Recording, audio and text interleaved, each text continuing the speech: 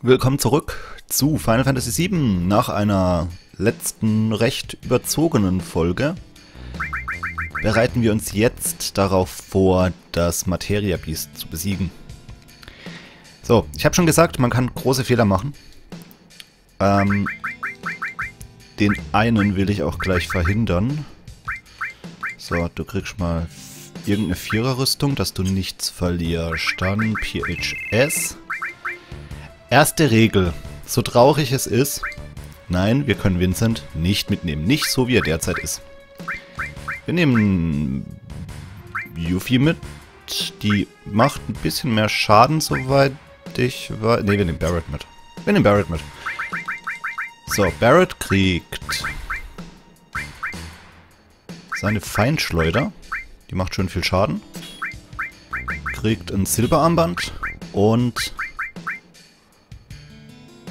kriegt ein whatever.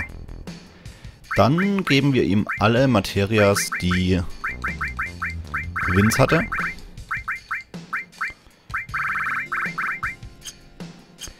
So, dann wollen wir in die Rüstung.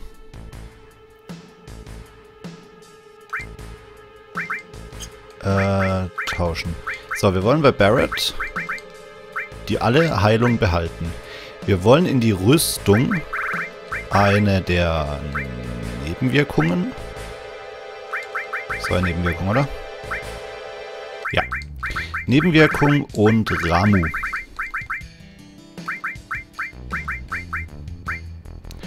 Dann wollen wir hier Nebenwirkung und Gewitter. Und dann wollen wir hier, äh, da ich keine weitere Nebenwirkung habe, Cloud bekommt die extra HP.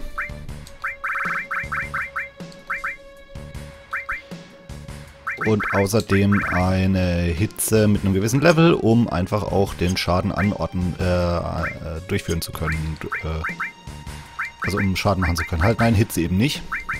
das ist genau das. Hitze nicht, sondern Kälte.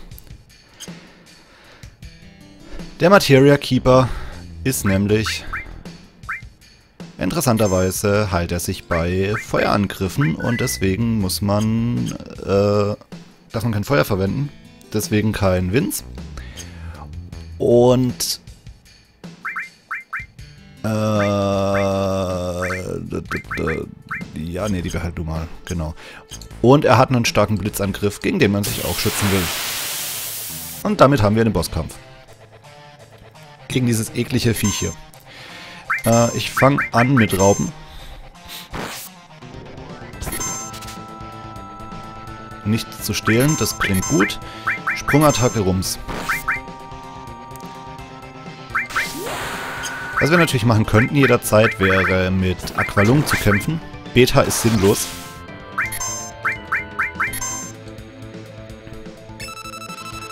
Substanzhalter. 6000 HP, keine Schwäche, aber wie gesagt, Feuerheilung. Ich kann es mal kurz zeigen. Ich mache mal einen ganz schwachen Feuerzauber. Ah, dann nutze ich mal Hast auf alle. Das ist natürlich immer eine gute Idee. Ja, hier, 125 Heilung. So, Barrett hat jetzt eigentlich keinen großen Job. Barrett ist jetzt quasi unser Heiler. Äh, machen wir Aqualung. Und noch ein Aqualung und eine Heilung 2 auf alle. Ich jetzt gar nicht gesehen, was der an Schaden angerichtet hat. 800, ach ja, das geht.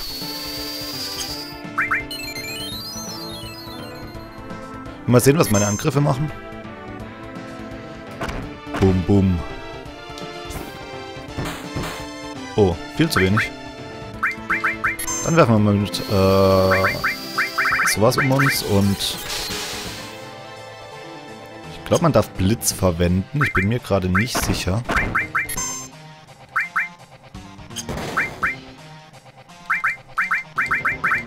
Solange man... Ich probiere mal Blitz aus. Oh, der kann sich selber heilen. Das ist nicht so angenehm. Ja, Blitz darf man verwenden. So, mach mal Heilung 1 auf alle. So, Beben funktioniert auch. Genau, und deswegen möchte man sich schützen gegen Blitzangriffe. Wir haben Trine gelernt. Blitzzauber auf alle Gegner. Dann kann ich jetzt auch die Mega-Abwehr nutzen.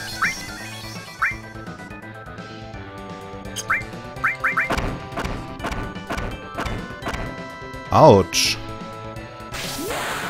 Das war schmerzhaft.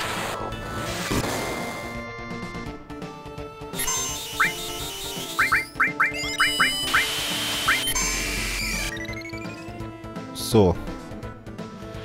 Ich bin froh, dass ich gerade... Oh Gott, oh Gott, oh Gott. Uh, ich bin froh, dass ich den Schutzzauber rausgezogen habe. Wir eine Doppelheilung. Und eine weitere Sprungattacke. Ähm. Ja, das sollte der Kampf auch schon so ziemlich gewesen sein. Man sieht, mit guter Vorbereitung sind starke Bossgegner eigentlich kein Problem. Und äh, sowas wie, wenn man weiß, mit welchen Elementen sie angreifen, die richtigen Schutz, Schutzsachen rauszuholen, ist auf jeden Fall eine gute Vorbereitung. Und ja, wenn Vincent da gewesen wäre und wir den Limit benutzt hätten, dann hätte der immer und immer wieder den Feuerball benutzt. Ein Smaragdring. Und eine Materia Konter. So. Äh, das passt. Das passt. Hier kann wieder... Moment. Hier kann wieder Vince her. Äh, jetzt habe ich eine Sache natürlich vergessen.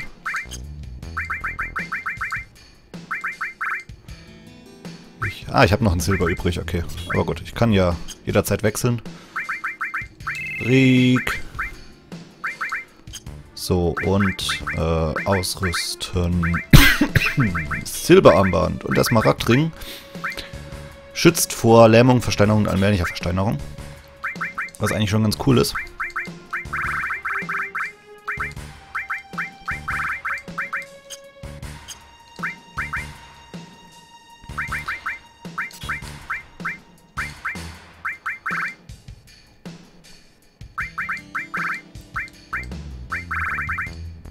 Ja, das passt so. Äh, haben wir noch irgendwo einen freien Materia-Slot, den wir eigentlich nicht brauchen? Behandlung hat ein Level. Wir können jetzt Esuna. Esuna ähm, heilt alle Statuseffekte. Hm.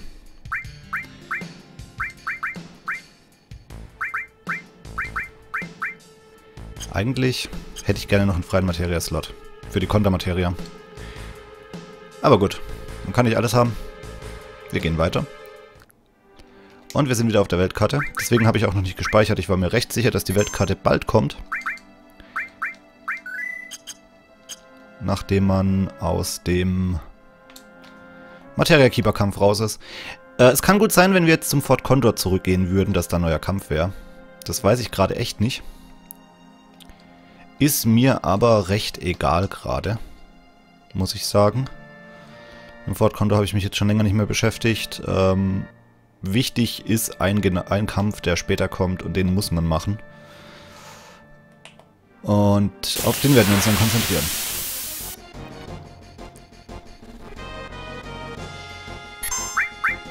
So, erstmal fangen wir mit dem Gallianischen Biest an.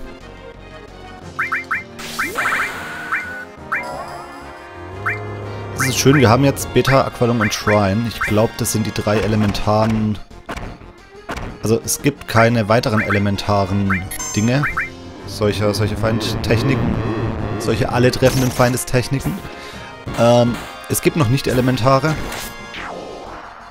Mindestens eine. Und da weiß ich auch wo. Und das dauert noch ein bisschen, bis wir da hinkommen. Also wir sind auf jeden Fall schon ganz gut mit unseren Feindestechniken dabei. Wir haben zwei Materias mit sehr vielen Feindestechniken schon.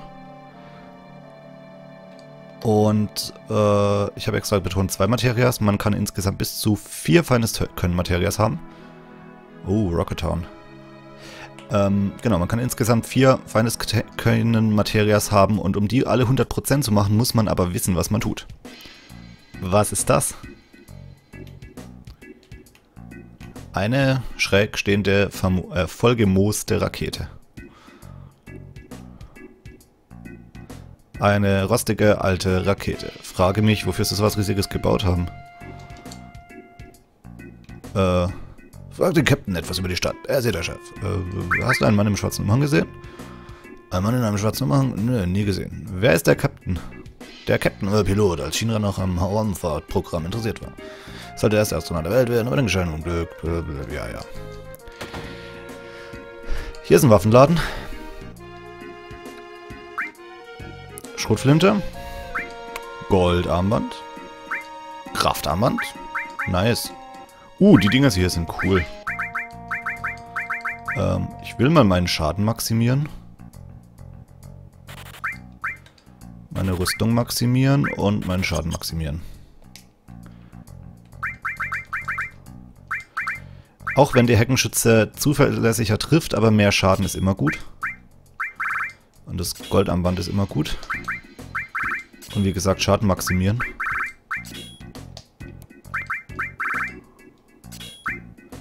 Für tiefer war das ein gutes Rüstungsupgrade. Oh, haua, haua, ha. So, kann man den noch irgendwo ausrauben? Hat er noch irgendwo was liegen? Ich glaube nicht. Na, eine Toilette. Dann müsste das hier ein Innen- oder ein Materialaden sein. Hm, oder nicht. Was? Im Shanghai, 100 Gil. Ja doch. 100 Gil ist immer gut. Billiger als ein Zelt. Üblicher Kommentar.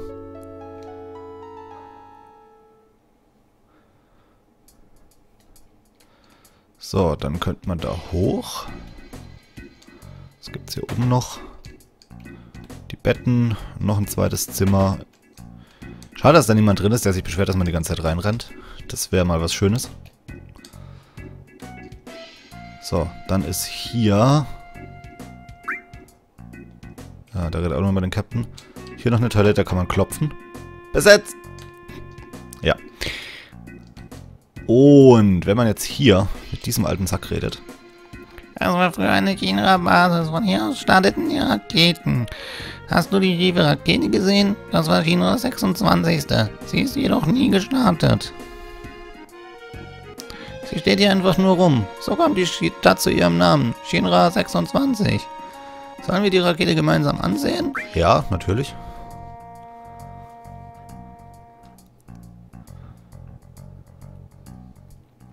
Es hat einen Grund, warum ich mit ihm so lange rede und alles mache.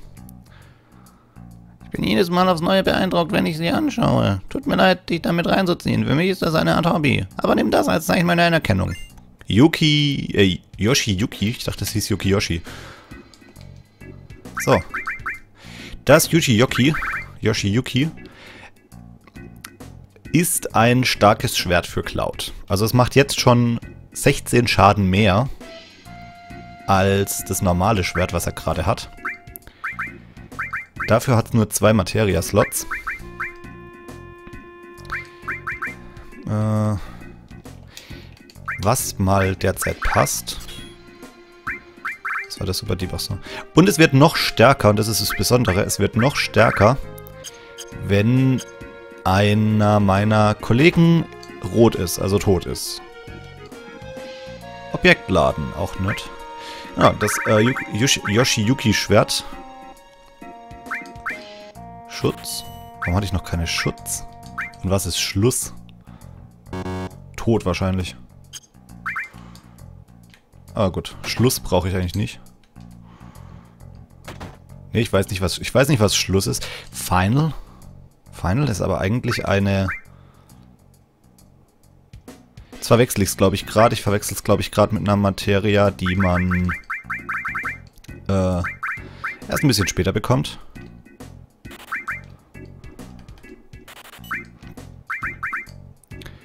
Äh, äh, äh.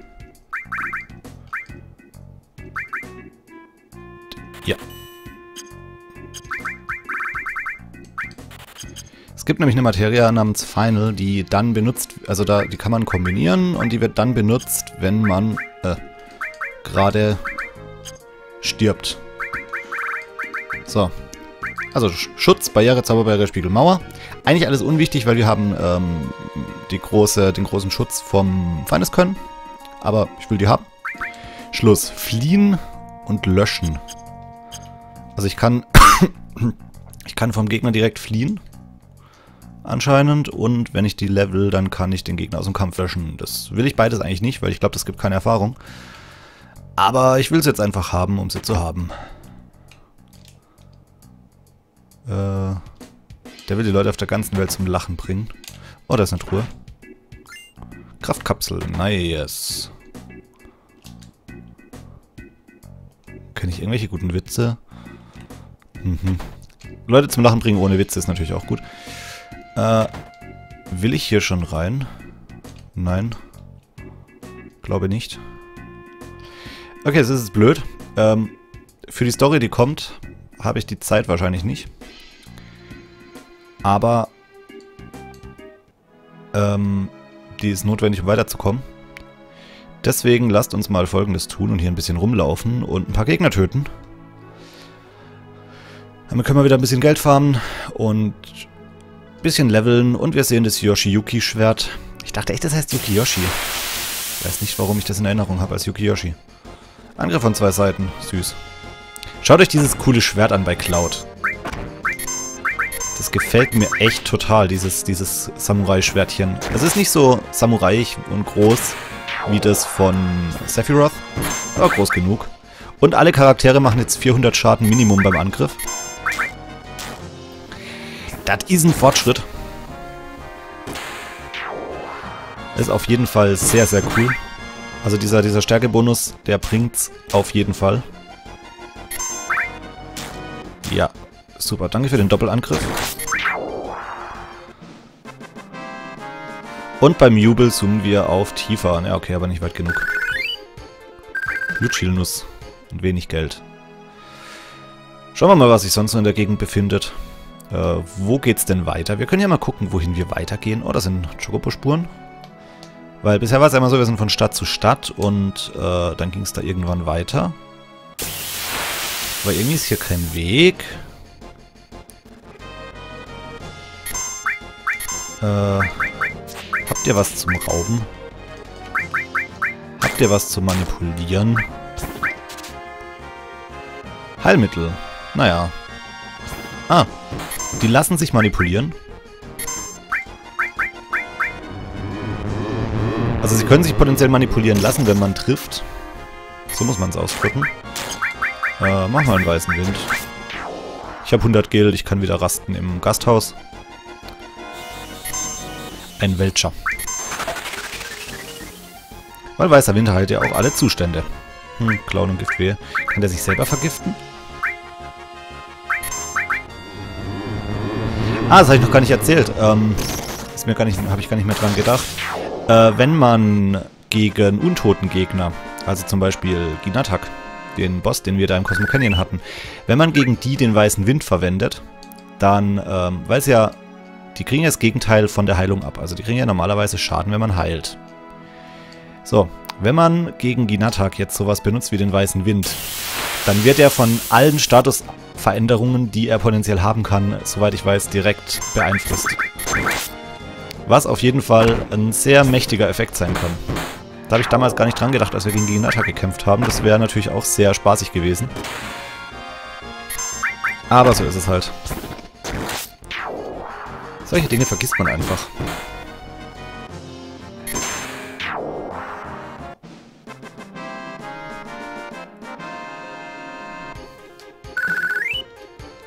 Und wieder eine Lucilnuss. Das ist schön, wenn wir mal tatsächlich eine Chocobo-Zucht anfangen sollten.